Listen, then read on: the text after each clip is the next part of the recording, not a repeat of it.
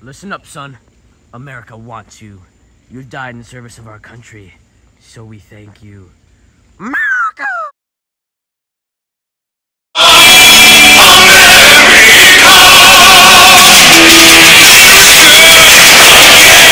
Hello, guys, and welcome to the Jackel Productions 4th of July holiday special. Well, it's really just another GES or Generic Essay Series episode. But let's just get to it. Today, I'll be talking about what I think to be the best war films that I've seen. And it just happened to round out to about 20 films. So it's basically the top 20. But first, let me get these films out of the way that I did not put on the list because I have not seen them, but think that they would be great, or because I don't think they fit with the list as well, even though I have seen them. Without further ado, let's get into the video. But first, hi, my name is Tyler and I love film, and today I'll be talking about my top war films. If you've watched past videos, it comes at no surprise that I'm starting off this list with my number one pick, which is Apocalypse Now. Apocalypse Now is a great film and one of my favorites of all times. It has everything you could ever want from a war film. It's surreal, disturbing, and deep, and tells a great story with its themes perfectly placed in, with direction that perfectly serves everything happening within the film, and pretty much everything about it being perfect while also having mainstream appeal. I pretty much said everything that I wanted to say about this film in a past video essay and talked about my interpretation of the themes of the film. But I find that the film resonates very deeply, especially with someone who knows a lot about the Vietnam War and is very interested in that. Up for anybody who has relatives who served in the Vietnam War, this film will definitely hit home. Its exploration of the human mind under the circumstances of war and how men react to war and war creates monsters just is executed so perfectly that there's no way that this could not be the best war film, especially since it resonates with me deeper than the rest of these and disturbs me on a level only rivaled by one film, which we will get to. And needless to say, I guess I'll include ratings in this. This film is a 10 out of 10. Paths of Glory is, as of now, my pick for the second greatest war film of all time and the second greatest that I've ever seen. This film was directed by Stanley Kubrick, so yeah, of course it's a masterpiece. It's directed so perfectly and visually with a bunch of little hints in the background and satires that you can only notice if you're truly paying attention in the film.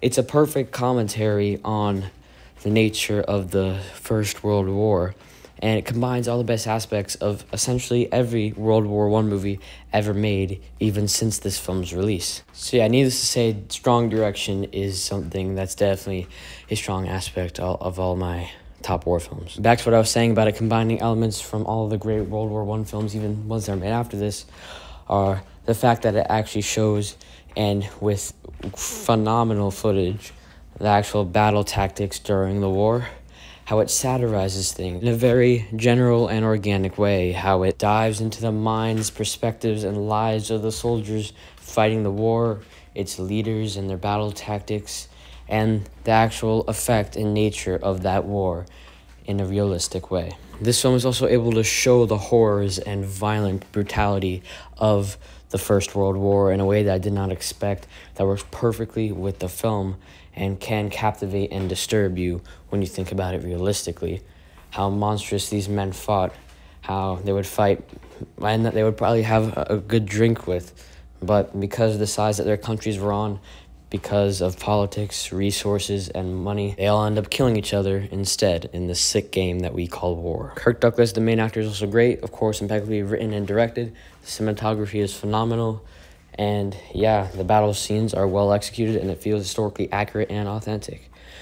Yeah, this film is definitely a 10 out of 10. It may be on a bad day where I'm not ready to watch something as epic as this, a 9.8, but today a 10 out of 10. It just shows how great the film really is that on a rewatch I updated the rating, but you know, the ratings still fluctuate. Ran is a 1985 film directed by Akira Kurosawa, the legendary Japanese, pretty sure Japanese director who inspired many works throughout the entire 20th century and 21st century, including, most popularly, Star Wars. The film is a violent epic ravaging its way through feudal Japan. That has everything you would want from a film like it except for, of course, heightened fantasy and cliches of historical epics. But that really just allows this film to elevate itself as it is about greater things than just the morality of people and more so about, like most of these films, the psychology of war.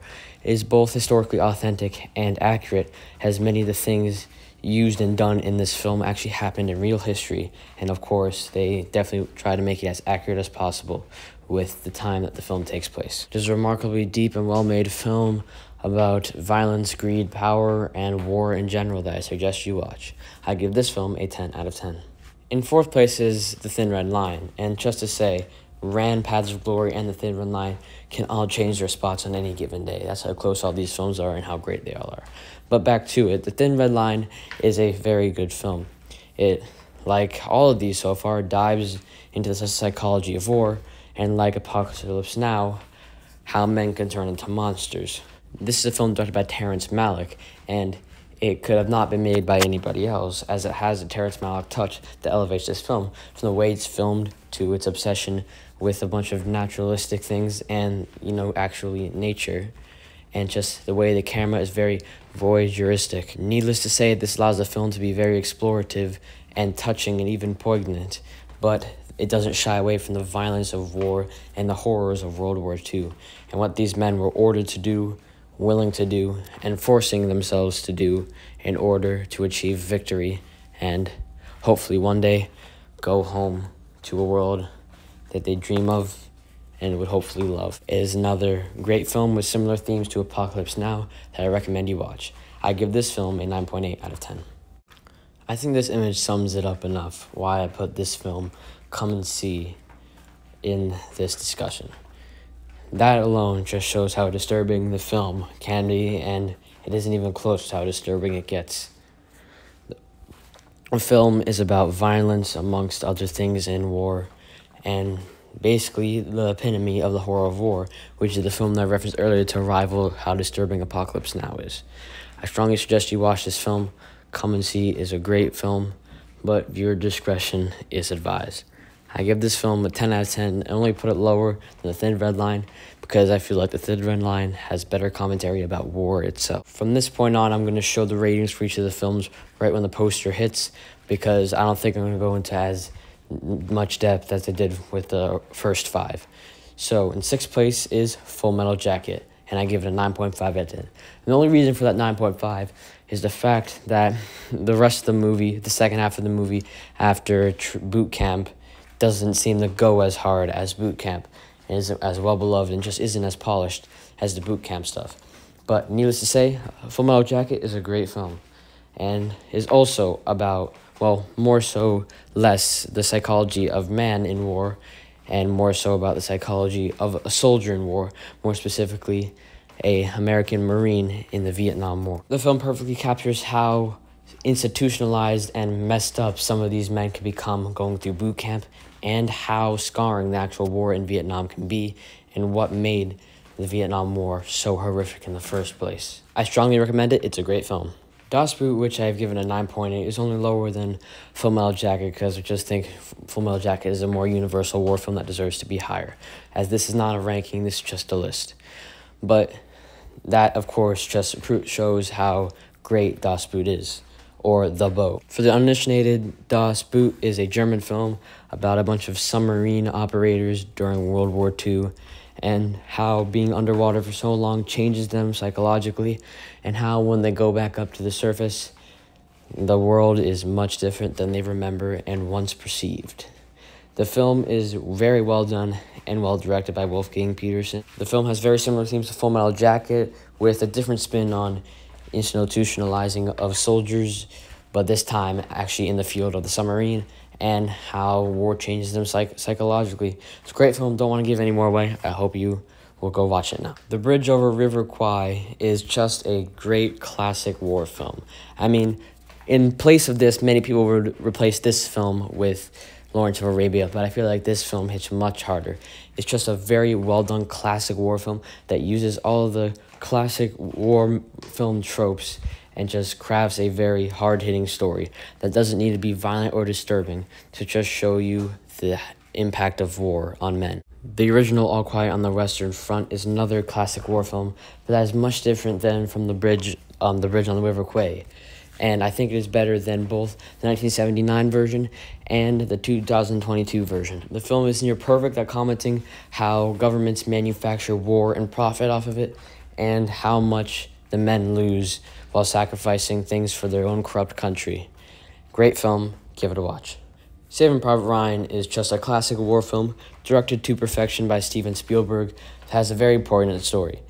I just don't think it is able to reach the highs of many of the other films on this list because I don't think it goes hard enough into actually showing the war unfold and really anchors the audience in with its main characters.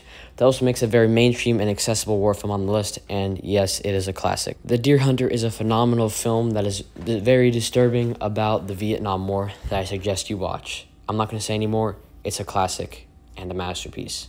The Hurt Locker is expertly executed and tension filled, and tells a really good story about the Gulf War and encapsulates everything about that war in one movie and the good and the bad of it. It also tells a really good story about the Hurt Locker itself. I'll leave it to you to find out what it is. Zero Dark Thirty is another masterful film from Kathryn Bigelow in a row, this time about the war on terror and just the cruel tactics the U.S. government used to get what they wanted and, and the implications of the actions that they took to do so.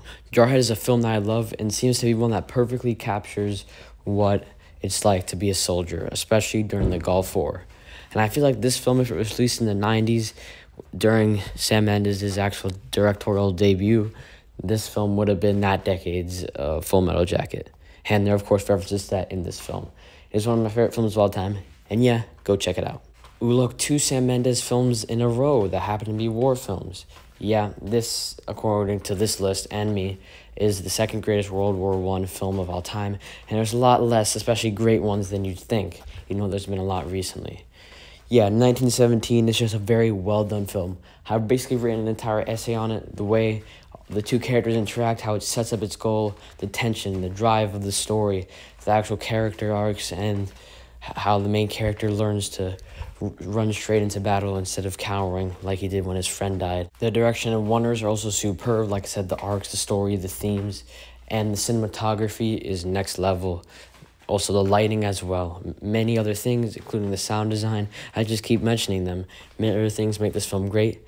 Pretty much everything about this film is great, and that is why I recommend. Though I don't find it to be as masterful as many others say, I think Dunkirk is a great and masterfully executed film by Christopher Nolan that really shows three different sides of war, and it's just a great portrayal of the events that happened that day and the heroism that took place and the bravery in the hearts of all these soldiers. Though a more unconventional pick, Jojo Rabbit is most certainly a war film and is a very well done, light-hearted, but still poignant and heartfelt comedy and satire of World War II and the Hitler Youth Program that I strongly suggest that you watch. It's a really good film about hate and prejudice and yeah, watch it. Though I do not see it as a war film, and I've really come to accept what many people have said that this film is more akin to a spy film and see it as more of a spy film than just set during the World War II era, like something like Where Eagles Dare. This film is still great and has everything you would want from Quentin Tarantino. Um, sharp writing, great character moments, violence, alternate history movie fun, a great villain, compelling story, memorable characters, classic Tarantino action, performances, and homages, coupled with his direction, that make this film a worthy member and rightful member of this list. I'll talk about it more alongside the rest of Tarantino's films in anticipation for his new film, The Movie Critic, right before it actually comes out. The Dirty Dozen is my second to last pick for this list. Out of all the classic war films to include on this list, that might not be as good as some others, I chose this film as it is really just the most iconic and well-rounded one. It's really pulpy, fun, it's out there, it has original idea and concept, it's great performances and action. It's a lot of fun, especially put in the context of the fact that it's an older film and is just a really great war film. It went up against competition for this placement, such as the Big Red One, uh, Cross of Iron, both Where Eagles Dare and Eagle Has Landed, as well as A Bridge Too Far, Original Inglourious Basterds, Kelly's Heroes, and The Great Escape. My last pick is Star Wars. Too bad it's on here. For those who stay here this long, thank you. I hope that is most of you. I hope you enjoy your 4th of July. I wish I could have done something bigger with this video, but whatever. Peace out.